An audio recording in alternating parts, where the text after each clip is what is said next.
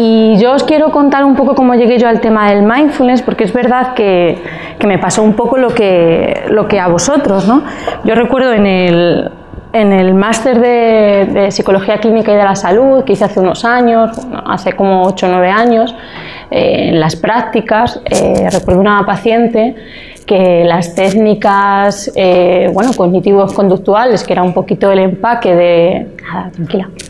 Un poquito el empaque de lo que se daba allí, pues básicamente no funcionaban. No funcionaban para nada. Esto, no sé si os suena la reestructuración cognitiva, ¿no? Bueno, claro que sí, ¿no? ¿Os suena? Pues era como casi como echar leña a la hoguera. Era como que, empeoraba a la paciente. Y yo recuerdo que mi tutor eh, me dijo, ay, ¿por qué no pruebas con esto del mindfulness allá la desesperada? Ya, en plan de, mira, nada funciona con esta mujer. Y, y, ahí que me lancé un poquito a investigar eso del mindfulness, me apunté al MBSR, al primer curso, y, y empezó a mejorar. ¿no? Empezó a mejorar ella, pero también empecé a mejorar yo, ¿no? porque es verdad que, que es una formación que es muy vivencial, muy, muy, muy, muy vivencial. Entonces, bueno, un poquito ese fue mi primer contacto con esto de, del mindfulness. Tanto así que me gustó tanto que, que, que, también en mindfulness, no sé si lo sabéis, pero se trabaja con el cuerpo a través del yoga. Y entonces me formé como profesora de yoga y de meditación. Y de alguna manera ya no abandoné jamás la práctica y, y así me la pude llevar al repertorio clínico. Entonces yo siempre digo que yo no soy una psicóloga, yo soy psicoyogi, de verdad, me defino, me defino un poquito así. Y desde luego que, que no, se, no, no, sabría, no sabría ver a los pacientes desde otro enfoque. Entonces, entiendo y quiero, o sea, la intención que quiero ponerle hoy a la sesión clínica es esa, que podáis, eh, desde luego una hora y media es difícil, pero que podáis daros cuenta de, de, del por qué para mí es importante cuando me, me, siento enfrente de un paciente tener una actitud mindfulness, mindfulness conmigo, con el otro y con la relación que establezco con el otro. ¿Vale? ¿Sí? Bien, pues a ver si sé manejar yo esto. Vale, entonces, eh, algunos dicen que mindfulness es una moda, que es algo nuevo, eh, pero para nada. ¿no? Y, os lanzo la pregunta de qué creéis que hacían los hombres y mujeres primitivos hará como unos 1,5 millones de años.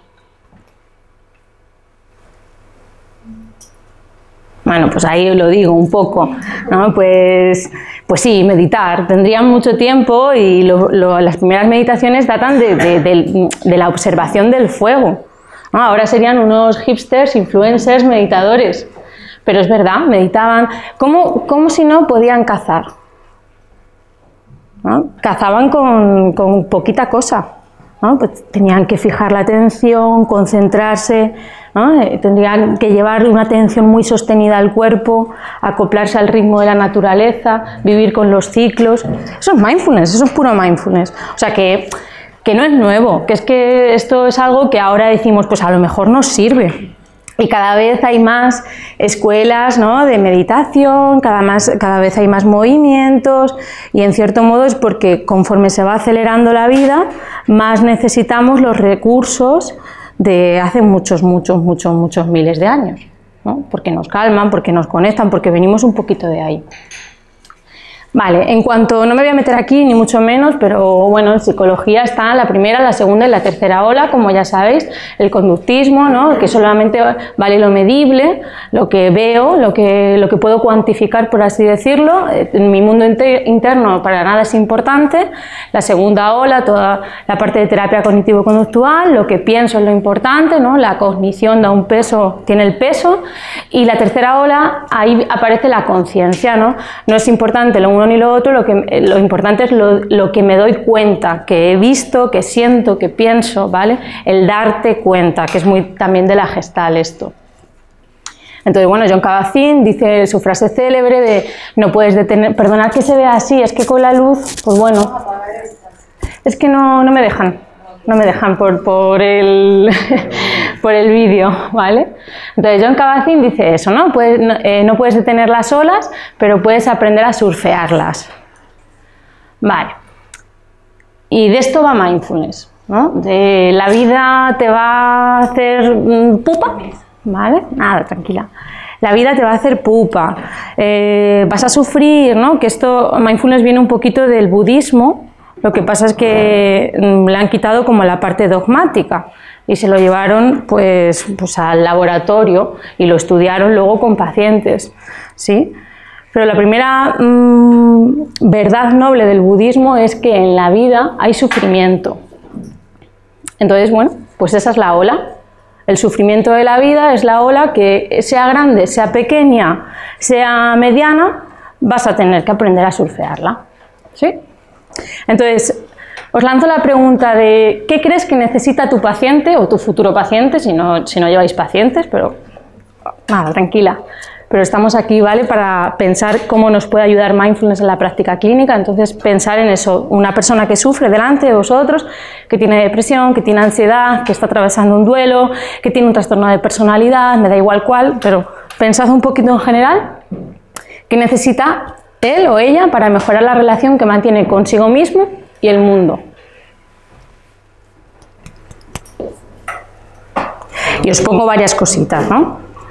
no juzgar, paciencia, mente de principiante, confianza en nosotros mismos, no logro hacer, ahora iré explicando un poquito, aceptación, soltar, compromiso, intencionalidad, amabilidad y suavidad. ¿Por qué os pongo todo esto? Porque estas son las actitudes mindfulness que, definen un poquito el cómo yo hago las cosas.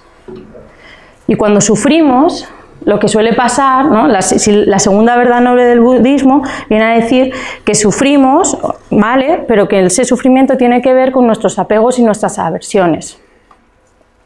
Entonces, de alguna forma, determinadas actitudes, estas nos ayudan, nos ayudan a manejarnos con nuestro mundo interno, a manejarnos con aquello que nos hace sufrir, que son nuestros apegos y nuestras aversiones. No, cuando estamos muy bien, o cuando algo nos gusta mucho, tenemos mucho miedo a que se acabe. ¿Qué pasa el domingo por la tarde? ¿qué pasa? Ay, mierda, no, no quiero. Ay, empieza ahí con el nudito, la responsabilidad de mañana. ¿Vale? Eso, pues no queremos que, eso es nuestro apego. Queremos estar siempre bien. Y ahora además vivimos como en una cultura muy peligrosa, todo tema redes, todo esto. Eh, está fortaleciendo esto, ¿no? el, siempre pon tu cara bonita, siempre siéntete bien, pero eso va en contra de la naturaleza misma de la vida, no siempre vamos a estar bien. Entonces, y, también la psicología positiva para, para, mí tiene como una parte trampa, ¿no? No, Mr. Wonderful, ¿sabes? No, no, nos hacemos daño con eso. ¿Cuáles son nuestras aversiones? Vosotros mismos, a ver, un día que habéis pasado así mal, con ansiedad, con malestar, ¿os reconocéis estando con esa ansiedad o ese malestar con gusto? No, estáis deseando que acabe y estáis un poco desesperados, ¿no? queriendo que venga ya otra cosa, mariposa, por favor, ¿a quién llamo? ¿Qué hago? ¿Qué tomo? ¿Qué digo? ¿Qué? ¿no? Eh, desesperaditos. Entonces, estas son las actitudes que nos ayudan a poder estar con aquello que aparezca, con lo bueno, pero también con lo malo. ¿no? ¿Sí? Si no juzgamos lo que aparece, si no etiquetamos, desde pequeños nos, nos, enseñan, y nos ayudan y nos enseñan a decir, esto caca, esto malo, eh, esto bueno. Y con el mundo emocional eso es peligroso muy, muy, muy peligroso, porque casi todas las personas que vais a ver en la consulta vienen con un esquema de, sentirme mal, es horrible y está mal y me, van a criticar y yo no puedo moverme así por el mundo. Y lo primero que tenemos que hacer como terapeutas mindfulness es despenalizar un poquito la emoción desagradable. Y digo desagradable, no negativa al mismo tiempo que vamos encontrando la función que desempeña esa emoción. La tristeza en cada persona va a traer una función, un dato, un mensaje, la ansiedad otro dato, otro mensaje. Pero para eso necesitamos enseñarle al paciente a que no lo enjuicie, que no lo etiquete como algo malo, sino como una señal, como un mensajero que viene a decirnos cositas. ¿Sí? Y esto se lo explicamos así a los pacientes. Les decimos eh, que, estas son las actitudes que nos van a ayudar a sentirnos mejor con nuestro mundo interno y que las vamos a trabajar en la práctica. ¿vale? En cada meditación Cuando yo cierro los ojos, ahora haremos como pruebecitas, cuando yo cierro los ojos, hago que el paciente se conecte con su cuerpo. Le enseño a llevar la atención a un ancla, que suele ser la respiración, y le digo, ¿no? Y le doy instrucciones y le digo, bueno, pues ahora vamos a estar en la respiración y vamos a estar en el entra, en el sale. cuanto más dañados los pacientes, más instrucciones les tenéis que dar. No les podéis decir, cierra los ojos. No, eso nunca, porque se pueden descompensar mucho. Necesitamos darle instrucciones para que puedan manejarse con su mundo atencional. Vale, estamos en el entra, en el sale, lo haremos luego, no os preocupéis. Le estás enseñando y le estás diciendo, no hay meditación buena o mala, no estamos buscando relajarnos, todo lo que aparezca está bien. Cuando veas que te distraes, vuelves, solamente tienes que hacer eso. Ya le estás de alguna manera dando instrucciones que van en contra de lo que generalmente nos hacen en la vida. Los profes, deberes, esto está mal, esto está bien. De hecho, en la primera meditación que haces con cualquier paciente te dice, es que creo que lo estoy haciendo mal.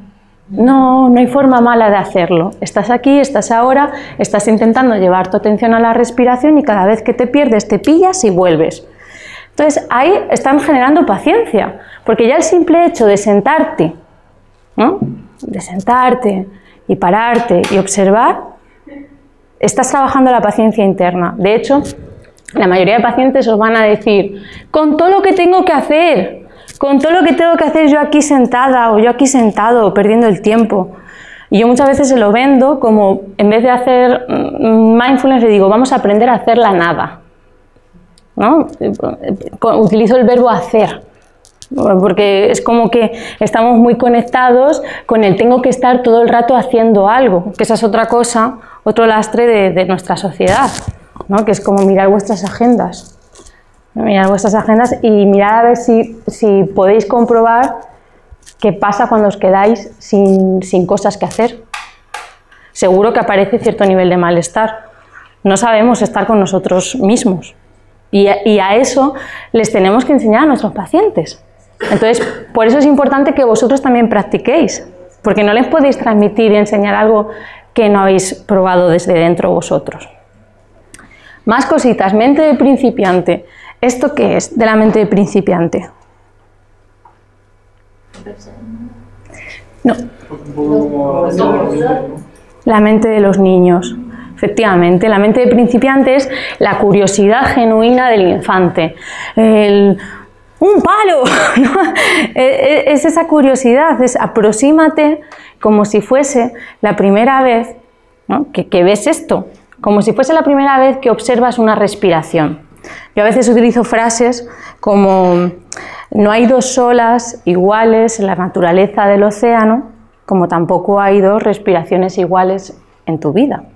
Observa esta respiración porque es la única que se va a presentar de esta manera.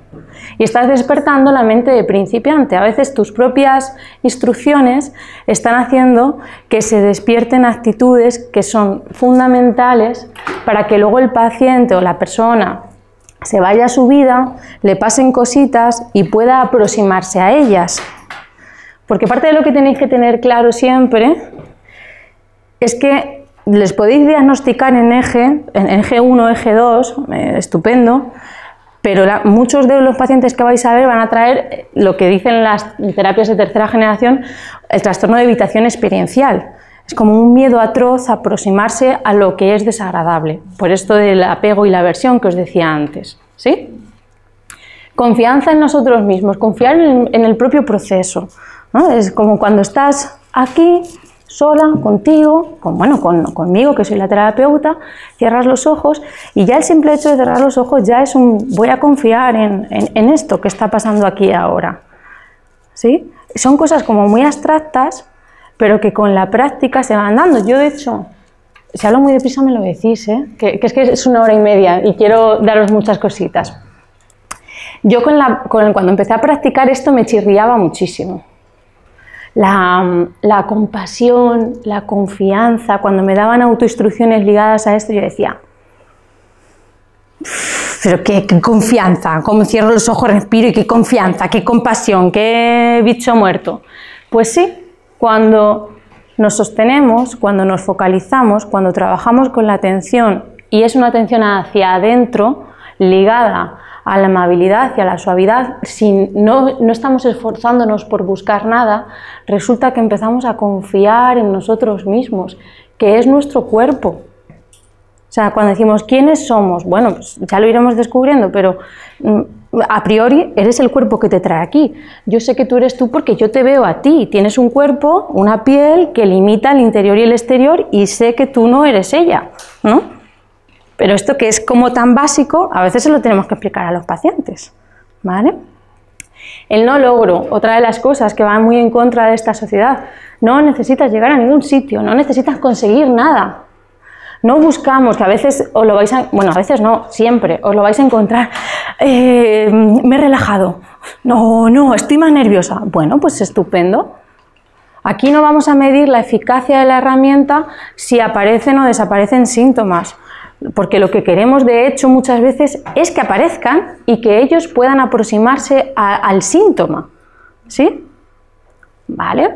Aceptación, el simple hecho de sentarte y estar con el estado emocional que vaya surgiendo momento a momento con él, sin huir, sin coger el móvil y ver no sé qué, sin llamar a no sé cuántos, sin beberte una cerveza, sin...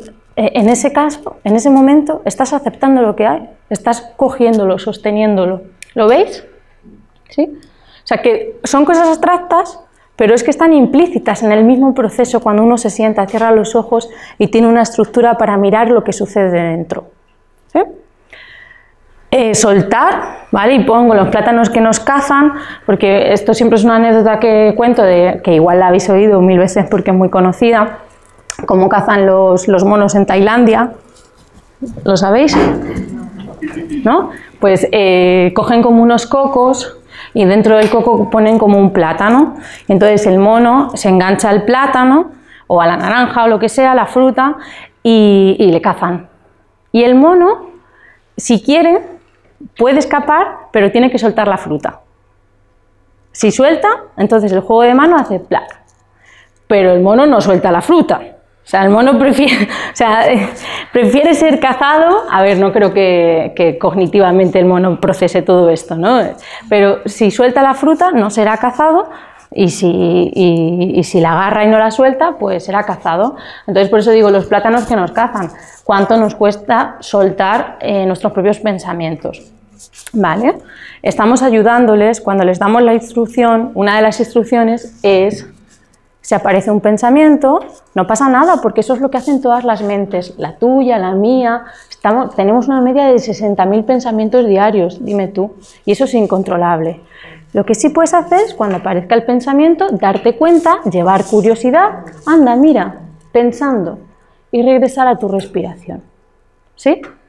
Paciencia, curiosidad, amabilidad, porque además lo estamos haciendo amablemente.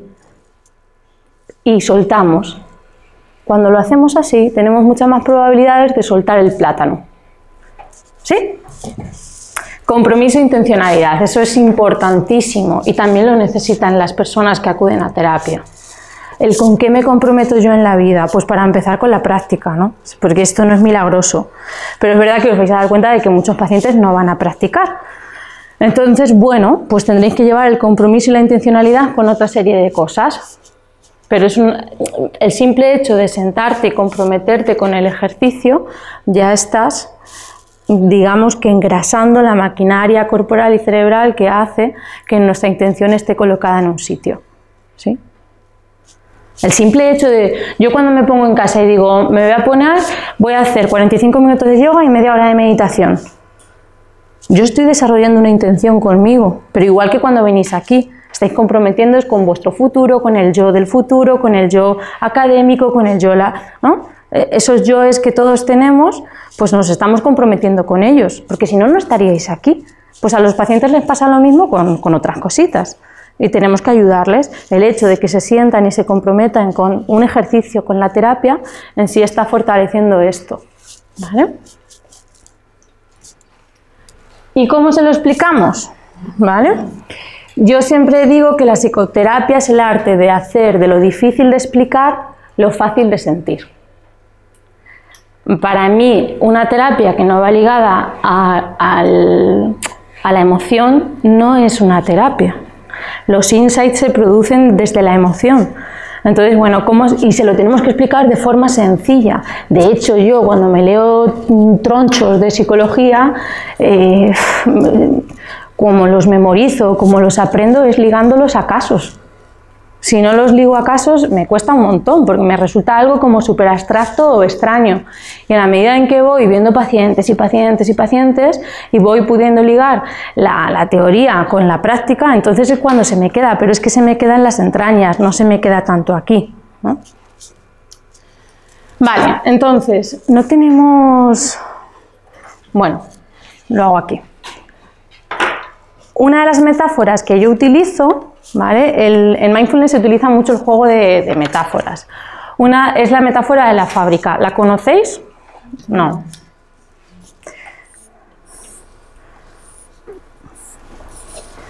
Vale. Entonces les digo, imaginad eh, que vuestra mente es como una fábrica, la fábrica mental de fulanita. Y en esa fábrica está trabajando gente, ¿no? Porque en todas las fábricas, joder, ¿qué se hacen en las fábricas? Trabajar.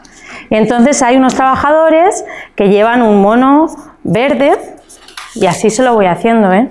Yo esto lo hago con niños y con adultos. Hay unos eh, trabajadores que llevan el mono verde, otros que llevan un mono azul, bueno, un mono gris, perdón, y otros que llevan un mono azul, sí. Y entonces les digo que estos trabajadores representan a pues, sus pensamientos. Y entonces unos van a representar los pensamientos agradables, otros los desagradables y otros pues los neutros, ¿sí? Y, les pongo, y ponemos ejemplos porque es muy importante el proceso de psicoeducación. Y ahí hacer énfasis en no es bueno ni malo, es agradable, desagradable, cómo se siente, cómo lo sientes tú en el cuerpo, bla, bla, bla, cuáles son tus pensamientos más recurrentes, patatín, patatán. Incluso podéis meter eh, parte de la información que tenéis eh, de, lo cognitivo-conductual, pues eh, todo lo que tenga que ver con las distorsiones cognitivas de Beck, vale, sí, todo eso ayuda, muy bien. Y ya le decís que estos trabajadores están fabricando cosas, ¿no? Si no, vaya, vaya caca de fábrica, ¿no? ¿Y qué fabrican?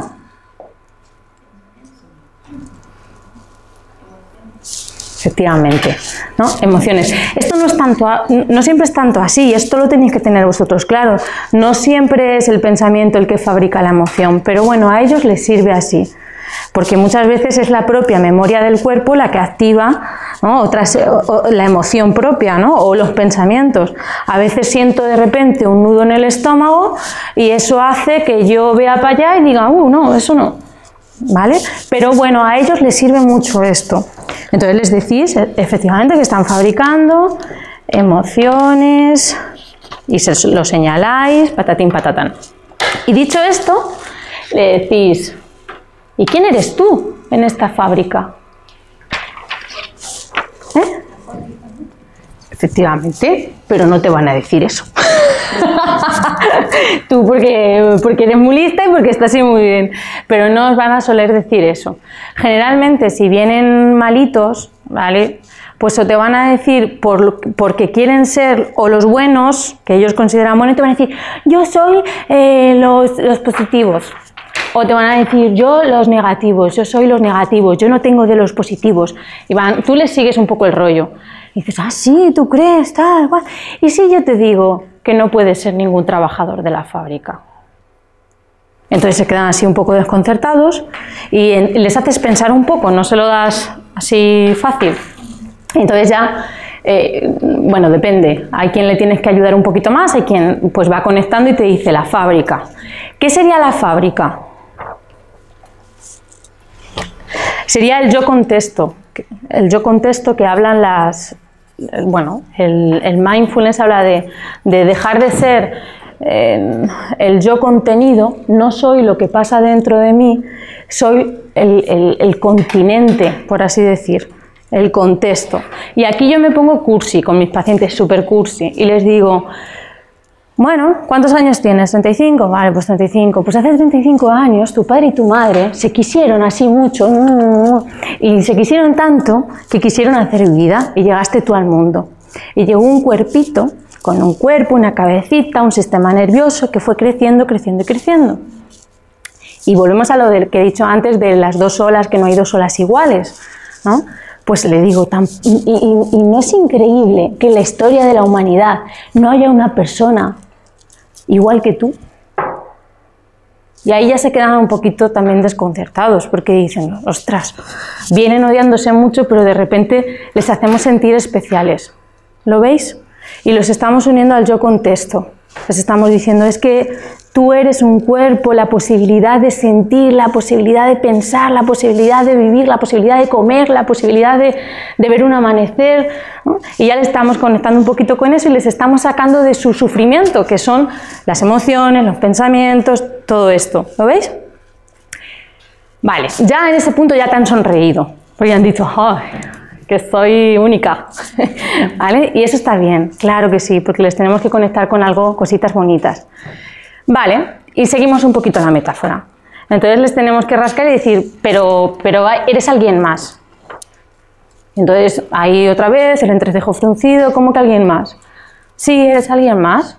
Le das pistas. ¿Qué necesita una fábrica?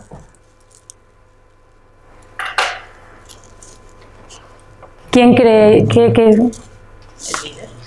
un líder. Un líder. o el director, como le quieran Director, líder. Mm, director de recursos humanos. Esto a veces me hace mucha gracia porque, porque me han llegado a contestar muy creativamente. ¿eh? Me han llegado a decir. Em, jefe de, lo que necesita mi fábrica es un jefe de recursos humanos que expulse a los trabajadores que no funcionan. y yo, bueno, pues sí, pero no se puede. Vale, pues sí, necesita un líder. Y ese líder, y aquí lo explicas, y le dabas dando forma a, bueno, pues a la propuesta interna mindfulness. Le dices que evidentemente necesita un jefe o una jefa, pero que ese jefe jefa, para que la fábrica vaya bien, no puede estar haciendo la función de los pensamientos, de las emociones, porque si yo como jefa hago lo mismo que hace un empleado, esto no tiene sentido. ¿Quién dirige? ¿Quién lleva? ¿Quién trae? ¿Quién, quién sostiene la fábrica? Entonces yo les hago aquí, como en la esquinita de arriba, un despachito y les digo, el jefe tiene que tener un despachito. Digo, pero un jefe ciego, un jefe que le da la vuelta a sus empleados, está destinado a fracasar. ¿Vale? Seguís con la. O sea, pensad que cuando contáis metáforas y las elaboráis de esta forma, estáis bajando las defensas de la, de la persona que normalmente puede estar protegiéndose desde la parte más racional, más racional izquierda, ¿vale? Y de alguna manera también le conectáis con la parte emocional, porque es como, como se van dejando llevar, pues mm, van a ir haciendo conexiones, ¿sí? Entonces les explicáis eso, que tiene que tener su despachito, que no puede dar la, bueno, la espalda a, sus empleados, pero que hay que saber pues, pues, pues no darles la espalda. Entonces les dibujo aquí una potente cámara y les hago como los rayitos atencionales. ¿Qué estamos queriendo decir con esto? Ese es el fenómeno de nuestra atención, la conciencia, el darte cuenta. La tercera ola es el darte cuenta de esto que pasa dentro de la fábrica, pero desde tu posición como jefe o jefa. Y aquí lo enlazas, o yo lo enlazo, con, bueno, pues con la teoría budista, ¿no? Entonces les digo, ¿cuál es el origen del sufrimiento? El deseo, los apegos, ¿no? las aversiones. Sufrimos cuando el jefe lo que está viendo en la fábrica no le mola, dice, uy, uy, uy, no me gusta, y se va para abajo. Se va para abajo y mientras se va para abajo ha perdido su función como jefe de la fábrica. Y se fusiona con aquello que no le gusta, o, aquello que le gusta mucho, ojo. ¿no? Es como si algo le gusta mucho también, la euforia muchas veces nos lleva también a ¿Cuántas veces dentro de la euforia habéis dicho o habéis hecho cosas que, luego habéis dicho, bueno, eso lo hice yo? eso pasa también, claro. Entonces, pierde su función como jefe, se coloca el mono del empleado y entonces ya no hay líder. y da igual que sea agradable o desagradable. ¿Sí? ¿Lo, lo vemos? Otra de las metáforas que utilizo, y muchas veces la utilizo seguida, apago la luz, tengo una linternilla que se me ha olvidado traer, pero bueno, con la linterna del, móvil, mm, si ya hemos dibujado esto, yo a veces lo hago así, o tengo unas láminas que pone pasado, presente, futuro, y pone emociones y agradable y desagradable. Entonces a veces lo tiro en el suelo todo y con la linterna pues, pues lo hago con la linterna o lo hago así con, esto, ¿vale? Depende de mi inspiración, el, día como esté. Entonces, con la linterna lo que haces es simular un poco esa cámara y les dices que lo que vamos a hacer con mindfulness es precisamente aprender a hacer esto y esto. ¿Vale? Cuando sufrimos? Cuando el jefe se va dentro de la fábrica y se fusiona, que a nivel eh, atencional sería como hacer así se queda atrapado en lo que está observando. Cuando no sufrimos, pese a la ola que venga, cuando hacemos así con nuestra atención. Y podemos mirar, esto sigue apareciendo, pero miramos desde aquí y yo sé que soy esto y no esto. ¿Lo, veis? Es abstracto, pero yo creo que así se ve claro. Entonces, esas son las metáforas que yo utilizo. ¿Quién eres tú como clave? ¿Vale? Para que, empiecen a, para que empiecen a identificar que ellos no son su mundo interno, que el mundo interno es importante, que le podemos dar forma. Yo utilizo, trabajo mucho con psicodrama, eh, con externalizaciones, para que conozcan, pongan nombres, saquen fuera, que es otra forma de mindfulness, porque cuando estamos externalizando un síntoma, es decir, pues sería un monstruo eso que siento aquí. Lo que le estás diciendo a la persona es, toma distancia de eso que te pasa. Y en mindfulness, ¿qué hacemos? Obsérvalo con distancia. ¿no? O sea, que, al final luego todas las teorías hacen así. Eh, las líneas temporales de la individuación, quiero decir esto que os he dicho, de que cojo pasado, presente y futuro, y con la linterna les digo, ¿qué pasa si, si estás así? Y ellos pues dicen pues que, pues que desatiendo esto, lo que está pasando aquí ahora. Preguntas que también lanzo en todo esto, pues les digo, ¿qué es lo más presente que tienes en tu vida en este momento? Y te van a hablar de sus conflictos, mi hijo, mi, novio, mi tal, los estudios, el máster, eh, no sé cuántos, eh, la muerte de no sé quién, y, le dice, y ya le vas indicando, le dice, ¿segura? ¿Seguro? Sí, sí, claro, es que eso es lo que más me preocupa. Y es una pregunta de nuevo trampa. Y le dices, ah, pues ¿quieres que te diga lo más presente que tengo yo ahora mismo? Y le digo, tú, tú, mi respiración, la conversación que estamos teniendo. Digo, porque yo, y, también les engancho un poco con, ¿sabes cuál es el día más eh, importante de mi vida? Yo se lo digo así, como con un toque juguetón, tenéis que jugar, tenéis que divertir en terapia porque si no se hace agotador y la persona no dura. ¿no? Le decís eso, cuál es el día más feliz de mi vida? Y le dices, pues este, en este momento. Y, y, a ver, cuidado, ojo, le explicas, dice, a ver, por supuesto que no va a ser el más feliz, pero me intento colocar aquí ahora y cuando me doy cuenta de que esto es irrepetible, que esto es lo único que me pertenece, entonces lo celebro, ¿no? Y ya van conectando con el enfoque mindfulness. La terapia basada en mindfulness tiene que tener estos pequeños componentes, ¿vale? A ver. Bien, practiquemos un poco. Muy bien. Eh, he intentado dividir prácticas atencionales. lo que se maneja en mindfulness es la atención. Eh, fijaros que son, es la cámara, ¿vale? La cámara de la fábrica, la linterna y cómo la muevo. Entonces, parte de lo que nos va a servir es siempre eh, utilizar la respiración. ¿Por qué la respiración? ¿Quién me sabe contestar? Para mantener nuestra atención. ¿Vale? ¿Y por qué la respiración y no... Porque estar consciente. ¿Sí? Regula el cuerpo, regula también tiene el cerebro cuando respiramos muy apurados es como que el cerebro eh, entiende que es- tienes miedo o que estás en alerta. Cuando respiras más tranquilo, pues estás relajado. Hay una parte que tiene que ver con esto, con que está conectado con nuestro sistema nervioso. Cuando inhalamos, eh, se activa internamente el sistema nervioso simpático y cuando exhalamos, el parasimpático. Cuando hay un equilibrio en la respiración, ¿no? que de hecho ahora hay terapias que van un poquito de esto, de, cómo trabajamos con la respiración, y los yogis, perdóname, pero lo saben y lo sabían desde hace bastante tiempo, y por eso los pranayamas, que son los ejercicios de respiración, regulan el sistema nervioso, os lo digo por experiencia, ¿no? que, que son maravillosos precisamente por esto, porque conecta directamente con el sistema nervioso. ¿Vale? Eso por, una, por un lado, pero otro, está todo el rato ahí.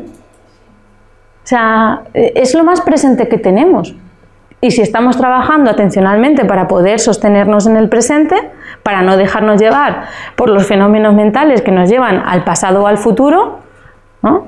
nostalgia, tristeza, ansiedad, pues entonces vamos a podríamos utilizar el corazón. El corazón es más difícil de detectar, ¿vale? Y aparte no, no lo podemos regular. La respiración sí. Entonces, tiene esos componentes. Entonces, prácticas atencionales utilizaremos pues el que hagan conteo de respiraciones, ¿vale? De 1 a 10. Yo a veces digo, depende también del día, empezar un poco poco a poco, ¿vale? Eh, pues puedes empezar de 0 a 10 y de 10 a 0, a veces de 0 a 50 y de 50 a 0. Y la clave es transmitirles que no es importante que, que- que lleguen a ningún sitio. No logro, ¿os acordáis? Lo importante es que cada vez que se pierdan vuelvan a contar desde cero, porque nos estamos entrenando en soltar las expectativas, en estar con lo que va surgiendo. ¿no? También cuanto más desintegrados, más dirección. A veces yo utilizo las dos mezcladas. Cuenta y anota cuando inhalas, entra, anota cuando exhalas, sale. Porque le estás dando como mucho marco de contención y eso es importante para que no se desintegren por dentro. Las prácticas de serenidad, que es verdad que mindfulness nunca va a buscar que te relajes. ¿Vale? Esto, esto es como la parte más sectaria, que si no los, los puretas de, de mindfulness me van a regañar. No, no busca que nos relajemos, pero estamos aquí para la aplicación en la clínica. Y en la clínica vais a tener que aprender a estabilizar a los pacientes, porque si no, no, no podéis sumergirles en su mundo interno. Entonces, claves, igualar la respiración cuadrada, igualo inhalación, igualo exhalación, ¿vale? O profundizar en la exhalación, ¿sí? Que la exhalación sea más larga que la inhalación. Estas dos serena la mente, ¿vale? En sí esto se desplaza un poquito del enfoque más mindfulness, pero si lo hacemos con las actitudes mindfulness, acepta, quédate ahí con ello, que surja lo que tenga que surgir, si te pierdes no pasa nada, regresa, ¿vale? Pues nos puede ayudar a estabilizar mucho a los pacientes. Y luego prácticas más corporales que van un poco, pues eso, de, observar las sensaciones incómodas y acompañar su recorrido con amabilidad y dulzura. ¿Practicamos? ¿Sí? Venga. Eh, bueno, da igual, no apago la luz. Cuenquitos, bueno, pues yo los utilizo porque me encantan, eh, no es necesario, ni no pongo incienso ni nada de eso, ¿vale? Pero aunque funciona. Yo recuerdo cuando empecé a ir a, mi clase de yoga y la profe ponía incienso siempre y de repente un día me dio por poner incienso en mi casa y, entré como en un estado de relajación y yo, pero ¿qué me pasa? Y ya, y ya llegué a la cuenta de que, claro, era con- condicionamiento puro, ¿no? me relajé. ¿Y hay olor que se usa o alguno en especial que se usa también? O cada uno con Yo no utilizo olores, o sea, podrías condicionarlos y podrías, eh, podrías utilizarlo como, como en MDR, ¿no? condicionar palabras o cosas. Yo no utilizo olores, porque al final tú puedes utilizar un olor en consulta, pero ¿qué le dices al paciente? Cómprate este olor y ve con el olor a todo. es difícil. Pero bueno, de hecho, Fíjate, eh, yo siempre cuento este caso, eh, uno de los primeros casos que yo vi en el máster, que venía por serotipia, al borde del delirio, ¿vale? Y ella estaba muy bien, estuvimos trabajando unos meses, estaba muy bien y de repente tiene una recaída y me dice, vino muy mal la pobre, pero el nivel de conciencia que habíamos trabajado le, pudo ayudar a darse cuenta que había recaído por un simple detalle. O sea, que es que a veces lo básico, siempre tenéis que dar como la explicación más básica, pero no la vais, a veces no la vais a encontrar porque no se ve. Pero esta paciente sí. Y me dijo, cuando, cuando estaba muy mal, antes de venir, yo compraba un suavizante con el que lavaba la ropa y el olor era determinado. Y cuando empecé a estar bien, cambié de marca. Y el otro día lo vi en oferta y lo volví a comprar, el de cuando estaba mal. Y de repente pues puso la lavadora, tendió la ropa y le volvió a dar pues como la crisis de ansiedad. Esa es la memoria del cuerpo. Esa es la memoria del cuerpito. Por eso, que, por eso cuando decimos pensamientos, el pensamiento no siempre crea la emoción. A veces es la alarma somática quien va a empezar a gritar internamente. Si les hemos enseñado a poder estar con las sensaciones incómodas, si les hemos dado psicoeducación de cómo funciona la mente y de cómo se integra la mente, que a veces van a saltar sensaciones incómodas y no va a tener ni idea de, con qué tiene relación, pues entonces van a poder sostenerlo y regularlo de una manera más eficaz, ¿no os parece? ¿Sí? Practiquemos. ¿Quién ha practicado mindfulness alguna vez? Bueno, muy bien, muy bien. Vale, pues vamos a ello. La instrucción es sencilla, muy fácil. Descruzamos las piernas, nos asentamos en la silla. Podemos decirles que si practican en, silla, que apoyen muy bien la parte del coxis hacia atrás, ¿vale? Y que la espalda quede recta.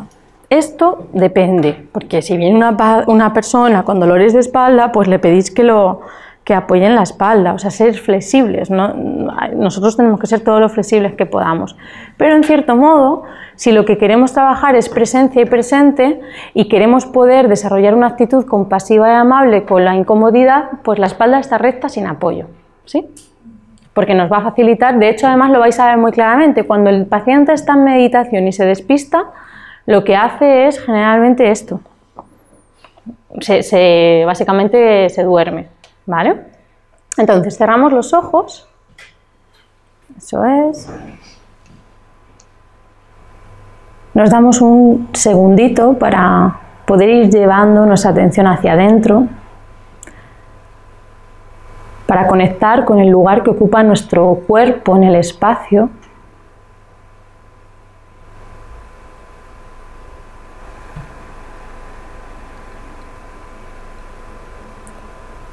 Con el sonido de la sala.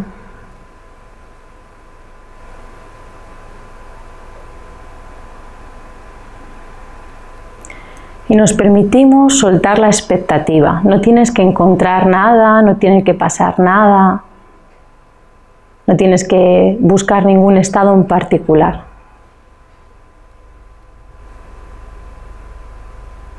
echamos un vistazo a ver cómo está tu cuerpo en este momento tu cuerpo como conjunto. Un cuerpo que se sostiene por la silla.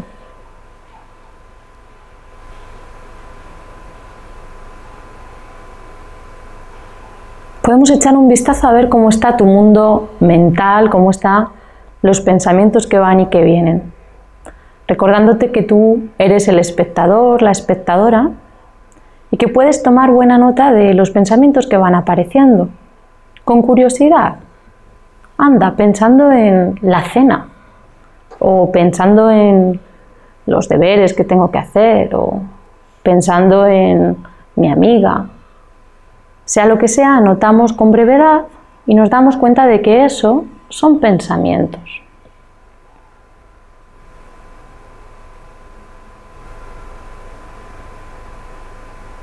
Y que tú eres quien observa, tú eres el jefe, la jefa de la fábrica, que en su despacho se da cuenta de lo que aparece en la fábrica.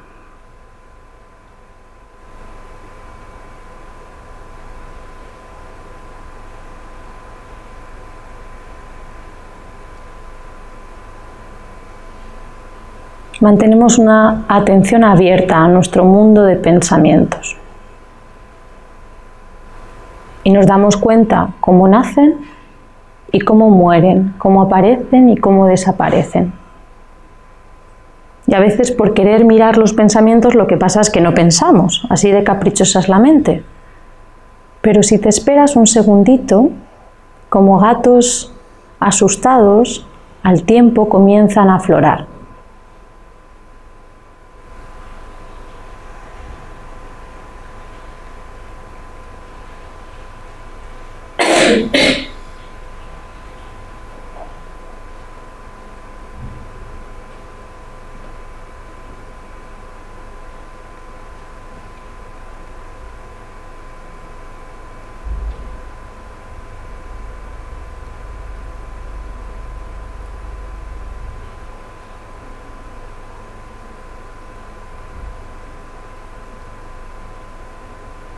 ¿Qué le pasa a tu mente, a tu cuerpo cuando no hay instrucción? ¿Puedes seguir permaneciendo observando los pensamientos que van y que vienen?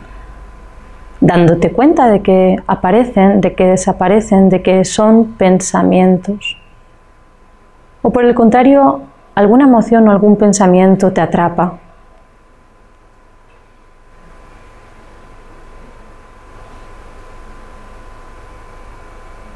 No pasa absolutamente nada si esto es así, si te pierdes, si te das cuenta de que estás pensando sin ser consciente de que estás pensando.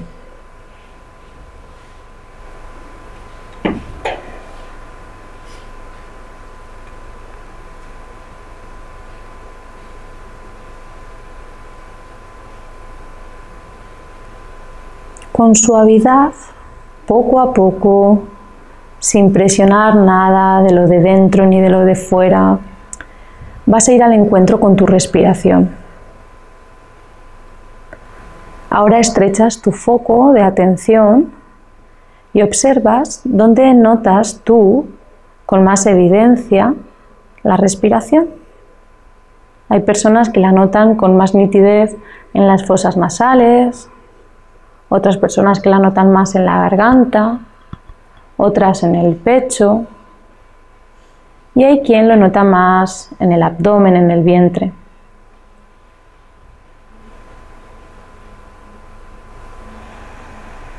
Y nos subimos a la ola respiratoria, a cómo cambian momento a momento las sensaciones de nuestra respiración.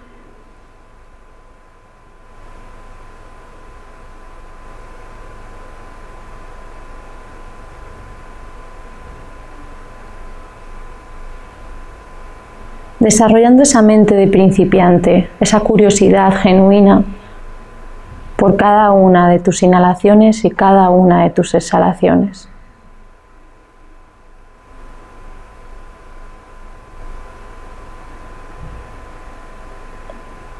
Y quizá te pueda servir para no perderte tanto, establecer una serie de conteo, de tal manera que contemos de 0 a 10 y de 10 a 0. Inhalas, anotas mentalmente entra, exhalas, anotas mentalmente sale y cuentas una respiración. Entra cuando el aire entra, sale cuando el aire sale y anotas dos respiraciones. Y así a tu ritmo. Y lo único que te pido es que cuando te des cuenta de que ya no estás en el conteo o que no sabes muy bien dónde te pilla o que de repente estás en otra cosa, que te aseguro que va a pasar, vuelves al conteo con amabilidad, con dulzura, sin regañarte, sin juicio, vuelves a cero.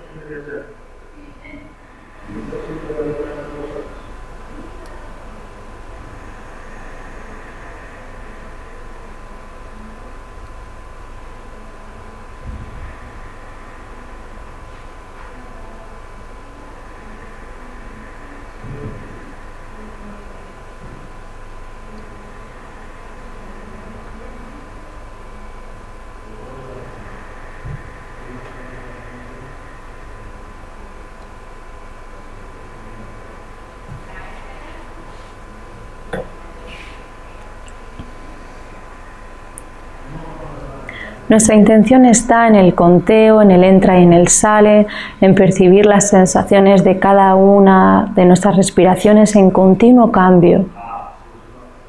Y todo aquello que aparezca y se coloque como protagonista y nos distraiga, pensamientos, sonidos, sensaciones incómodas, no ejercemos sobre nada de esas cosas o fenómenos una lucha, sino que nos damos cuenta, los permitimos y reorientamos una y mil veces la atención hacia el conteo.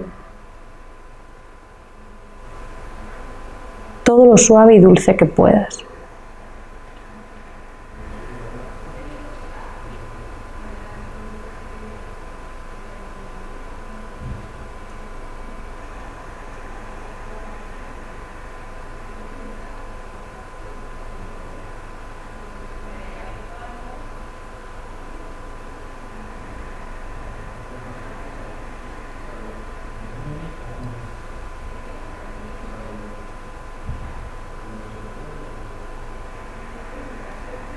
En cierto modo es como, como educar a un cachorrito, a un cachorrito perro, que es, bueno, pues por su juventud está totalmente hiperactivo y va y viene y va y viene.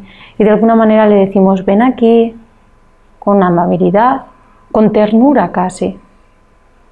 Nuestra mente es igual que ese cachorrito, les tenemos que enseñar a volver.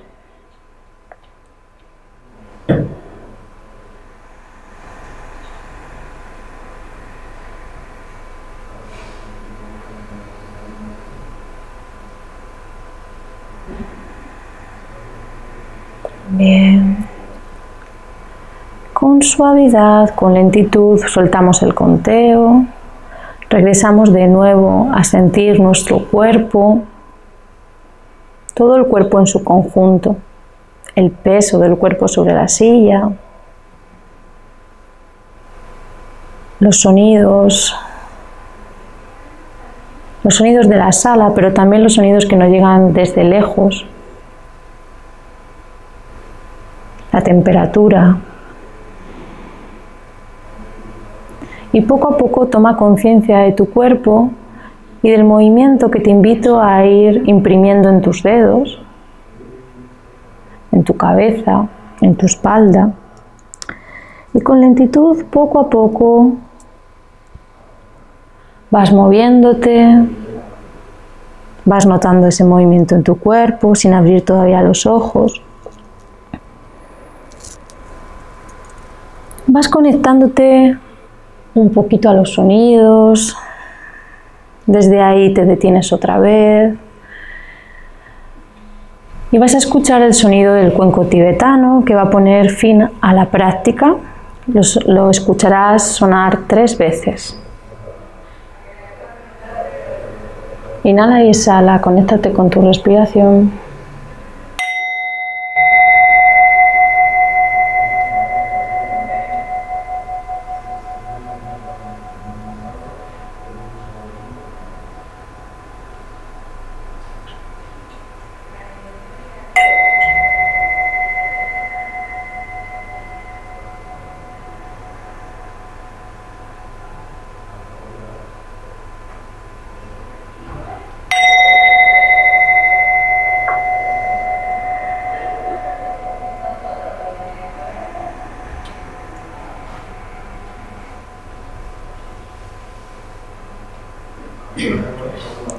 Ahora sí, poco a poco, puedes ir abriendo los ojos, saliendo de la práctica.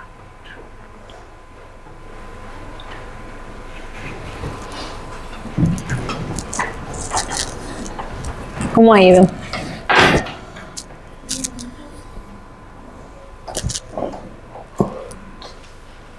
¿Sueño? Sí, ¿verdad? ¿No? A veces es, eh, esto os lo vais a encontrar mucho. Eh, los pacientes os van, vais a tener dos tipos de pacientes. Bueno, eso es reducir mucho, pero, pero sí, vale. Eh, reduciendo mucho, os vais a encontrar con pacientes que cuando le deis la herramienta se van a relajar tanto, tanto, tanto, tanto, que, entren como en sueño, básicamente se van a dormir. Y eh, hay una práctica que se llama exploración corporal, que se hace incluso tumbados, que hay ahí un, concierto de ronquidos impresionante. ¿no? Y esto tiene que ver con que nuestro sistema nervioso tiene muy poca experiencia en sentirse en paz, pero consciente. Entonces, en el momento en es muy delgada la línea en la que alguien puede estar a gustito, pero consciente. Y es una pena. Y eso tenemos que trabajarlos. Les, les tenemos que decir que no, que la idea no es que se duerman. La idea es que puedan estar a gustito, pero despiertos lo llaman la práctica del despertar, no porque nos durmamos cuando practicamos, ¿vale? O sea que eso es verdad que cuando conectamos, a ver, también puede ser que eh, hemos tenido un día largo, nos hemos levantado temprano, son casi las 8, bueno, pues hay sueño. Conectas un poquito y, te relajas. ¿Vale? Pero, pero, esto lo tenéis que tener claro como, como psicólogos, que muchos de vuestros pacientes la línea va a ser muy delgada y lo que les tenemos que enseñar es a poder estar tranquilos y en paz, pero despiertos. Y luego van a estar los que eh, se van a agobiar muchísimo. Pero incluso si os preguntase y fuese uno por uno, habrá personas que se hayan relajado, que hayan, estado muy a gustito y otros que digan, madre mía, estaba deseando que acabase esta tortura. Estoy segurísima. ¿no? La primera vez que yo medité en mi país fue así, se me invitó una compañera, una colega y todo, todo, todo, absolutamente todo era molesto. Todo. Desde el momento de cerrar los ojos todo molestaba, era la posición, la silla, la gente, la respiración, si alguien respiraba alrededor mío, si pasaba una mosca, eh, la brisa que pasa, todo, absolutamente todo me molestaba, si el cabello se me movía. Todo. Lo que deseaba era que se acabase, por favor, esto ya, irme y fue como, no me vuelvas a invitar más nunca en tu vida. ¿Soy tu amiga o tu peor enemiga? para mí fue la primera vez fue horrible, hasta que llegó un punto que dije, en mi vida que dije, mi cuerpo me está pidiendo conexión. Y fui y dije, bueno, a, ver si no me vuelve a pasar lo mismo. Y en esa siguiente vez fue aprendiendo, aprendiendo. Y ya luego estaba en un punto en donde, ah, ya hay frío, vale. Ah, ya hay calor, vale. Ay, pero ya como que lo, lo, veo, lo entiendo y es como, bueno, ya. es que no va a hacer nada con el frío. Ni con ¿Qué estás haciendo? ¿Qué estás? Ah, ya hay frío, ya hay calor. Estás eh, eh, de alguna manera lo pillas, es jugar al pilla-pilla. Sí, cada vez, que, cada vez que medito lo que intento es como hacer conexión, porque me di cuenta que yo, y porque me he dado cuenta también de mucha gente a mi alrededor, la gente no suele tener conexión, ni con uno mismo ni con lo que hay alrededor. Da, entonces, Entonces eso lo, lo, intento hacer, o sea, cada vez que medito intento es eh, identificar ese tipo de cosas internamente y a mi alrededor. mucha gente que me dice, ¿cómo te diste cuenta que alguien necesitaba en el metro una silla? Porque estaba pendiente a mi alrededor. No estoy buscando, alguien se quiere sentar, alguien mayor por aquí, pero estoy intentando estar un poco más atento. Está hablando de esto. Os dais cuenta que ha habido una parte de la práctica donde yo os he invitado a que observaseis los movimientos de vuestros pensamientos. Date cuenta que aparecen, que desaparecen. Ahí tenéis el foco abierto. Y luego os he dicho, iros a la respiración y ahí teníais el foco centrado. Y esto es lo que les tenéis que enseñar, a abrirlo y a cerrarlo. Eso es lo que da eh, tan de moda que está la palabra empoderamiento.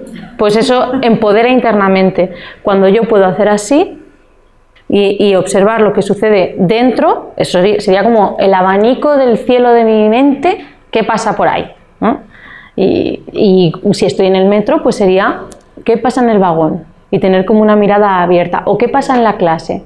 No, y me he dado cuenta que la gente no lo sabe. Y mi hermana que es médico, mi hermana me dice a veces que el paciente dice, pero ¿qué tú dices? ¿Qué tiene? Y lo que te dice es duele. ¿Dónde duele? ¿Qué se siente? ¿No, habéis visto la imagen esa que corre por Facebook, que es buenísima, que, que sale como un gato? ¿no? Y, el meme pone, eh, el, el, psicólogo, ¿cómo estás? Bien. Y le pregunta al psicólogo, ¿y qué es bien para ti? Y hace... Ni idea de lo que es bien. Dejadme que os ponga un vídeo en referencia un poco a esto que, que estamos diciendo.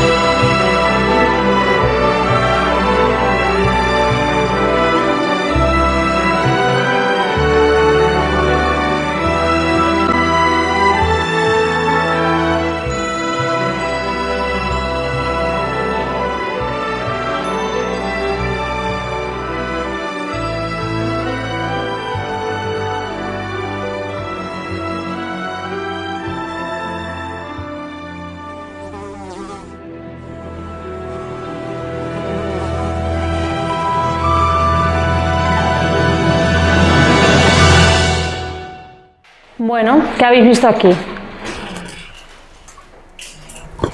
Mindfulness puro, ¿no? ¿Qué son las moscas? ¿Qué representan las moscas? ¿Cuándo fue la última vez que practicaste Uy. ¿Cuándo fue la última vez que perdonaste a alguien? Ya sea el taxista que te. Bueno.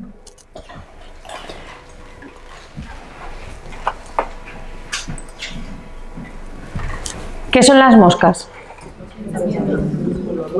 Vale, o, el vecino del quinto dando guerra. O sea, quiero decir, las moscas es todo aquello, una propia mosca, ¿no? ¿No, ¿No os habéis peleado alguna vez con un mosquito o una mosca?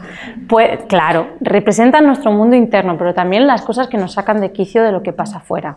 O sea, y esto de vídeo, pues se lo ponéis a los pacientes y lo veis con ellos y les va a ayudar pues, a entender.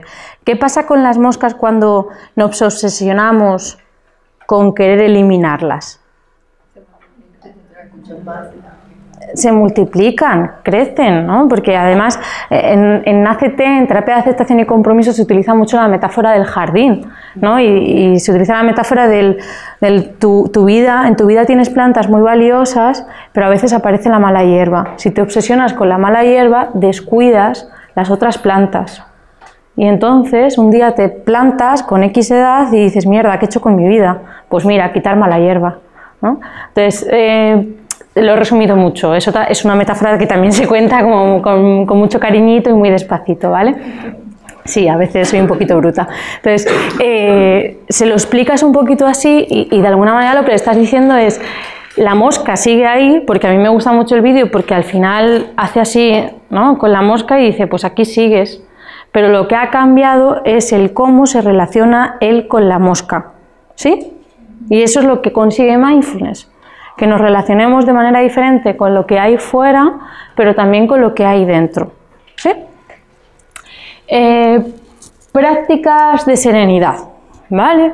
Y prácticas corporales. Vamos un poco a las corporales, que me parece que, bueno, igualar inhalación y exhalación y hacer la exhalación más larga eh, es como lo más, es simplemente dar la instrucción y que os acompañen un poquito.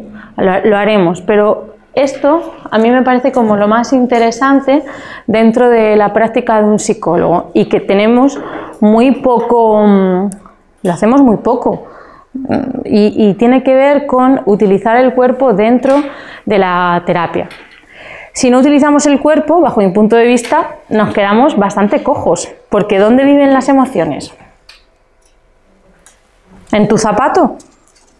No, viven en nuestro cuerpito. Entonces tenemos que aprender a, trabajar con él. De tal manera que una práctica mindfulness sería, bueno, pues algo así como hoy mismo, ¿no? He visto una paciente y, y ella siempre, eh, bueno, se, que- se aqueja de que vive con ansiedad, una ansiedad continua y una sensación de vacío interna, pues con la que, que nunca cambia. El- la narrativa que trae es, esto siempre es así, desde que me levanto hasta que me acuesto. Como psicólogos, ¿qué tenéis que sospechar? ¿vale? Que viene distorsionada, catastrófica, que, que viene fusionada con lo que le pasa, ¿no? Entonces, eso tú lo sospechas y le tienes que enseñar a darse cuenta. Pero como, como psicólogos muchas veces noveles coges y dices, esto no es así. Esto no es así, no, no puede ser. y ella te dice, que sí, que tal. Y, entonces, pues, y tú, no, no, porque estás distorsionada. Sí, sí, estás muy distorsionada. Vale, no, no, no funciona así la terapia y no puede funcionar así. Entonces un poquito le dices, ah, sí.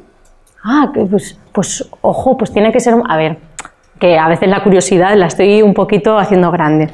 Pero le dices, ah, sí, de verdad. Y, ojo, pues yo tengo...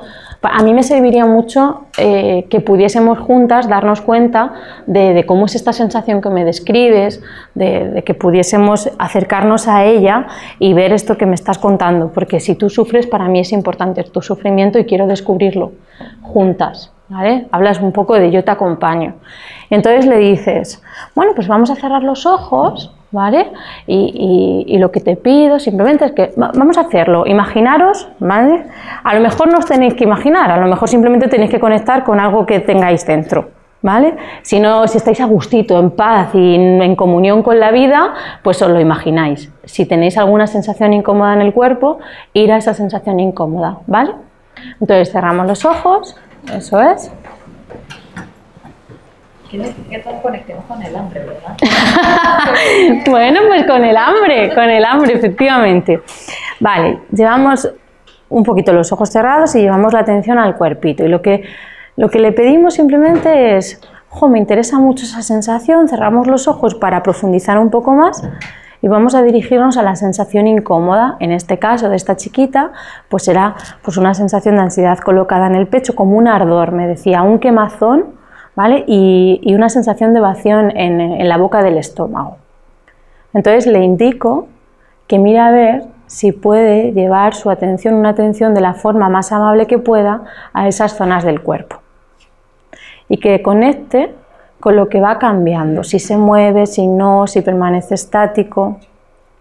Y a veces cuando digo amable, le, doy como una explicación, le digo, tú imagina que esa parte que tienes o sientes incómoda es como un bebé que llora. Es un bebé desprotegido que necesita mimos y cuidados. Y lo que te pido es que te, que, te arrimes, ¿no? que te acerques a esa parte con esa dulzura que se acercaría una mamá a consolar a ese bebé. Y cuando estés ahí, simplemente nota cómo es la sensación, cómo cambia cuando inhalas y si algo cambia cuando exhalas. ¿Qué textura tiene la sensación?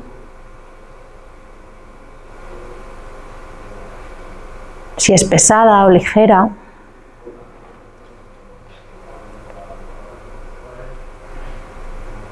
Si está localizada en distintos puntos o se concentra en uno pequeño.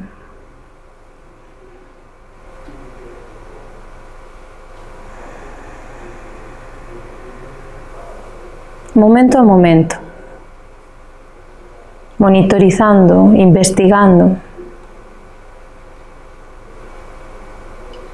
E intenta no criticar eso que te estás encontrando, intenta simplemente estar con lo que descubres.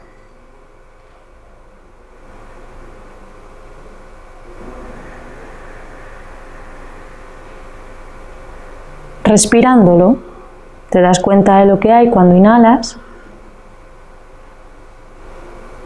y te das cuenta de lo que hay cuando exhalas.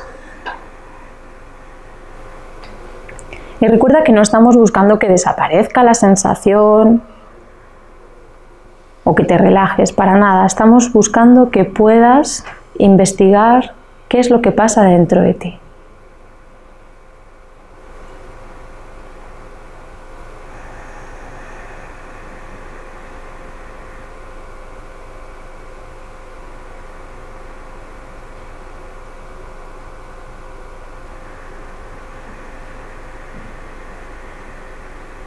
Y si te despistas, no tienes más que volver a esa sensación que has elegido, volver a notar los límites de la sensación.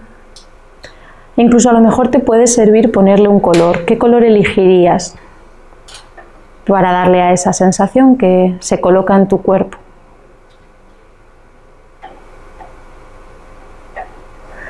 ¿Y cómo se expande? ¿Cómo se mueve? Ese color.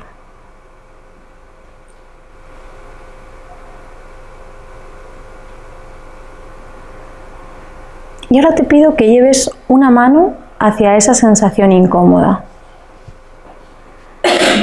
Que la coloques suavemente, sin presión, pero que notes de manera nítida el contacto.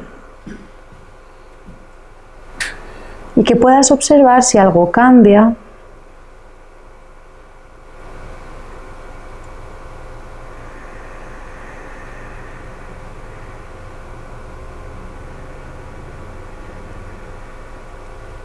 Estás intentando recoger, sostener tu sensación.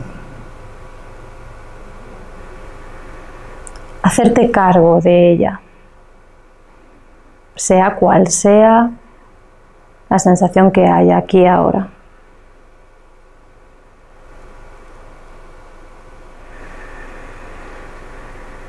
La estás respirando y sosteniendo.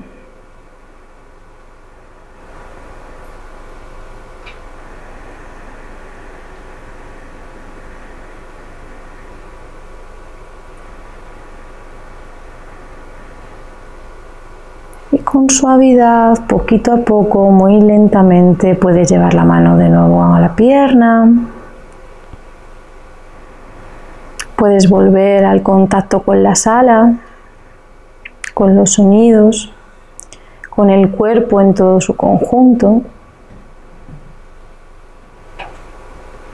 Y poquito a poco, moviendo los dedos, las manos, los pies, estirándote si lo necesitas, quizá dándote un poquito de movimiento e incluso notando cómo le sienta el movimiento a esa parte de tu cuerpo, a la sensación, al color.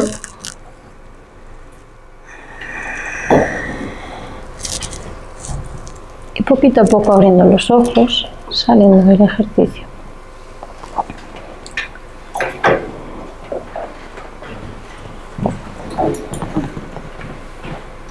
Menos sueño, ¿no? ¿Qué hemos hecho? ¿Cuál era la intención de este ejercicio?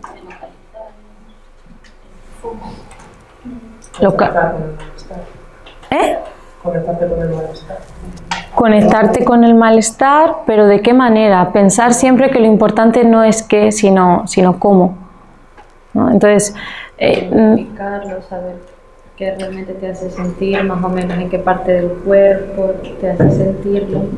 Y ahí a, medida de eso, pues poder trabajar esa parte del cuerpo, el color que se utilizó, no es lo mismo utilizar un negro que un morado, eso, poco a poco trabajarlo. Eso no sería relevante, fíjate, el color que elige no es tanto lo importante, sino que, que, le, que le deis todas las de alguna manera todas las claves para que pueda hacerse cargo de lo que está pasando dentro.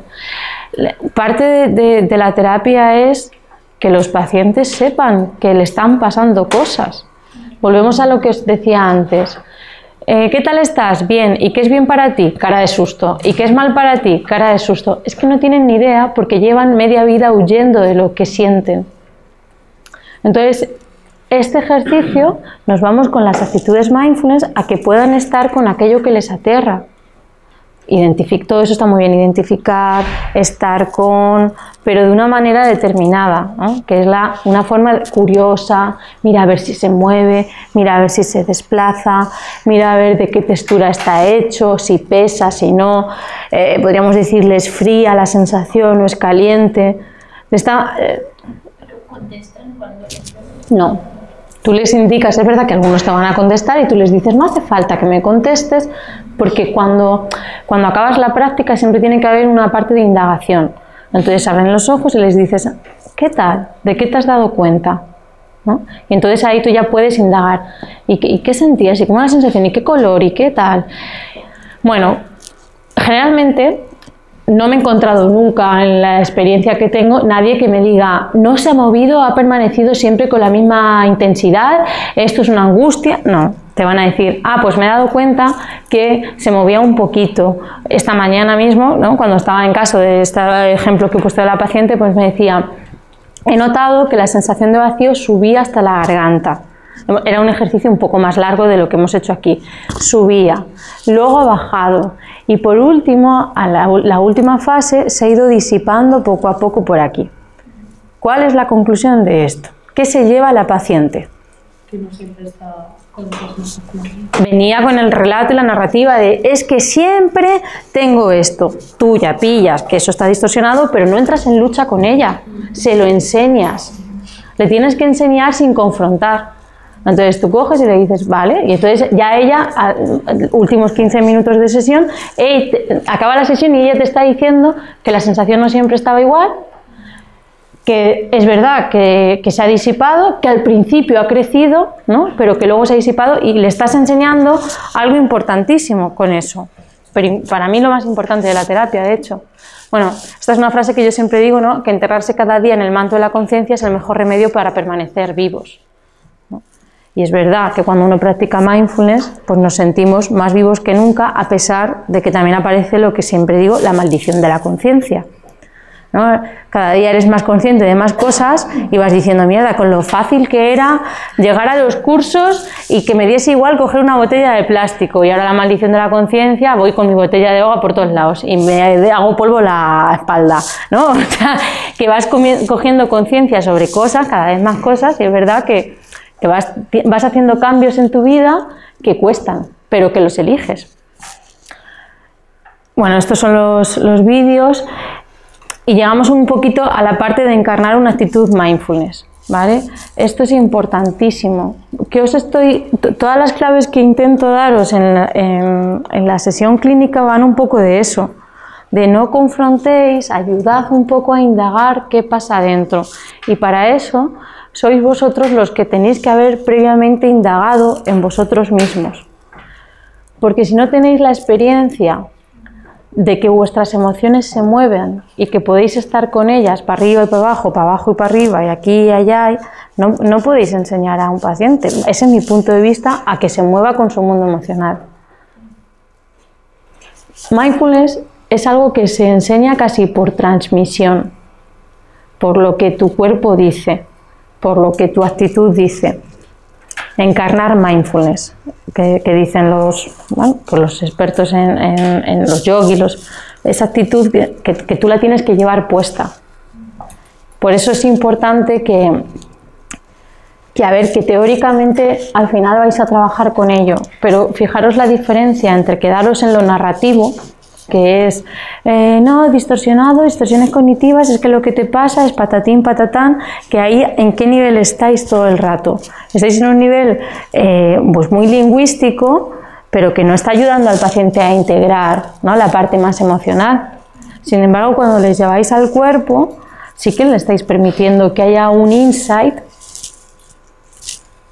que, haya un, que haya un insight donde aparezca ese aprendizaje. Entonces encontraríamos, eh, es la terapia de bajar para enseñar a subir. Vosotros tenéis que bajar al fondo de vuestras sensaciones y, saber qué es estar con vuestro cuerpo para poder enseñar a los pacientes qué es eso de subir a través de su conciencia. Y subir para poder contemplar. Eh, y se utiliza mucho en mindfulness la metáfora de la, de la montaña. Es que hay que tomar perspectiva. ¿Cuántas veces les decimos a los pacientes, y esto te ayuda a tomar perspectiva. ¿Y por qué tomas perspectiva? Porque lo estás mirando pues, con distancia, porque de alguna forma te has recolocado, ¿no? estás fusionado. Entonces, ellos parten, van a partir de, en la vida hay cosas desagradables que me están quitando la vida y hay cosas agradables que quiero. Y estamos otra vez donde? Apegos, aversiones, ¿no? Entonces, estamos otra vez con la fusión con lo que no quiero me genera un malestar y deseo fusionarme con que todo vaya bien, que todo esté bien. Les enseñamos mindfulness, ¿vale? Las actitudes mindfulness que tienen que ver con práctica, práctica, práctica. Y aquí entra el, esto no es magia, y esto lo tenéis que transmitir también, que ahora hay una corriente que es como, te vienen, te vienen a consulta casi, casi sintiendo que mindfulness es un milagro. Sí, sí, en plan, no, no, es que me han hablado súper bien y, esto va a solucionar mis problemas y además te vienen con un montón de mitos mm, tipo, no, no, esto es para parar la mente. Cuando es todo lo contrario, es aprender a estar con la mente y la mente, insisto, está todo el rato moviéndose. Entonces, les quitas un poquito esos mitos, un poco así hablándolo, les dices que no es un milagro y que cuanto más practiquen, más beneficio van a obtener y de alguna manera, practicando y practicando, llegan a un insight. ¿Cuál es el insight en esto? Pues que la vida es una montaña rusa, que la vida es un sube y baja constante, un ciclo de días y de noches, de inviernos y de veranos de soles y de lunas, de alegrías y tristezas, de ansiedades y, tranquilidad, y, van conectando un poquito con esto, de tal manera que se dejan, empiezan a dejar de asustarse cuando aparece lo desagradable. vuelven a la rueda y se encuentran con lo desagradable, pero ya están con ello. Hoy me decía un chiquito también, el otro día me encontraba muy mal, no sé por qué, eh, pues como que pues, mm, se empezó a encontrar muy mal, muy mal, muy mal. Dice, y entonces, y yo, y, ay, ¿qué hiciste con, con, ese malestar? Y me dijo, ay, pues me llevé una mano ahí a donde sentía el, el agobio, me recogí un poquito en posición así, en posición fetal, ojo, ¿no? Eh, que es un poco regresivo eso, pero está muy bien, y entonces me cuidé. Y entonces sentí que me estaba cuidando. De esto va esto. Cuando, ¿Por qué llevamos la mano al malestar? ¿Qué es lo que nos cura? ¿Qué es lo que, nos ha, ¿Qué es lo que ha hecho que vosotros estéis aquí sentados? Que vuestra madre y vuestro padre un día nacisteis y os cogieron ¿no? y os balancearon y os cuidaron desde la piel. O sea, ¿conocéis esa investigación del orfanato que tiene más años que, que Matusalén? Poco ética, pero bueno, para la época pues era lo que era. Que hicieron como un grupo de, de, bebés y de niños, a, un grupo les daban el alimento, les limpiaban la caca ¿no? y, simplemente hacían eso y a, y a, otros pues les balanceaban, les mimaban, les cuidaban. ¿Cuáles creéis que fueron los resultados de la investigación?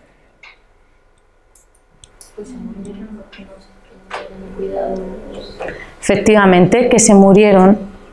Los que solamente eran alimentados y, y, y, limpiados se murieron, porque para que vosotros podáis estar aquí, para que vuestro cerebro haya podido crecer y vuestro sistema nervioso se haya podido desarrollar, ha necesitado esa mano.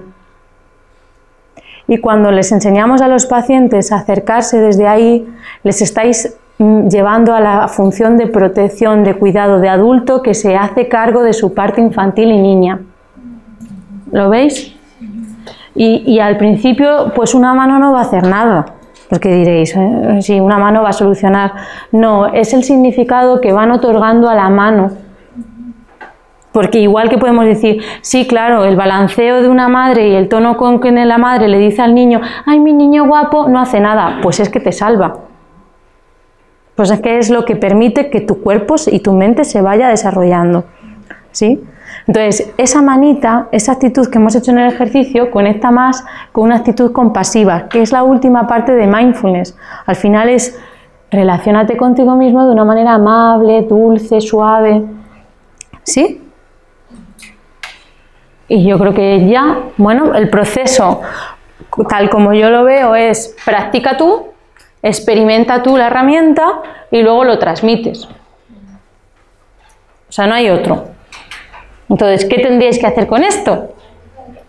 Practicar, ¿no? Practicar. Eso es, practicar, practicar y practicar. Y ahora además tenéis un montón de, opciones. Tenéis un montón de opciones. Yo lo que tengo es en Vimeo un montón de audios colgados, bueno, un montón, tampoco hay muchos, que les ayuda a los pacientes, pues les digo, pues métete aquí, algunos tengo otros que les mando al, mail, ¿vale? Y entonces, pues eh, el primero es fundamentos de atención plena, se lo ponen y es como psicoeducación. Y los segundos, pues, pues bueno, pues, mm, pues son para practicar un poquito cositas básicas. Y app que podéis tener, a mí la que más me gusta de esta es En Calma en el quirófano. Es una aplicación que mm, que se desarrolló en, un hospital para la gente que tiene miedo a, a, pasar por una intervención quirúrgica, que es gratuita y que lleva dos programas, uno corto y otro largo, de entrenamiento mindfulness, ¿vale? Y, y a mí, vamos, me gusta mucho, o sea que esa, esa tenéis que practicarla, ¿vale? Y echar un vistazo a las otras. La verdad es que yo no las he manejado mucho, pero bueno, mmm, sé, de, sé que me las han recomendado y me las ha recomendado gente de la que me fío, entonces bueno, pero en calma en el quirófano sí que la he probado y funciona muy bien. A ver que tenemos tiempo de... Bueno, no tenemos tiempo. Eh, vale, eh, ruegos y preguntas. Esto es todo, lo que me ha dado tiempo. ¿Quieres estar al día de todo lo que ocurre en ISEP? Síguenos en las redes sociales y no te pierdas nada. Actualidad, entrevistas con expertos, masterclasses, sesiones clínicas, vida estudiantil, eventos y mucho más. Podrás encontrarnos en Facebook, Twitter, LinkedIn, Instagram y YouTube. Además, ahora podrás convertirte en el protagonista de nuestros perfiles sociales. ¿Cómo? Muy sencillo. Cuéntanos cómo está siendo tu experiencia en ISEP. Muéstranos cómo es tu día a día o comparte las fotos de tus mejores momentos. Acuérdate de etiquetarnos o de usar el hashtag #ExperienciaISEP. Así podremos compartir el contenido con el resto. Recuerda, juntos hacemos ISEP.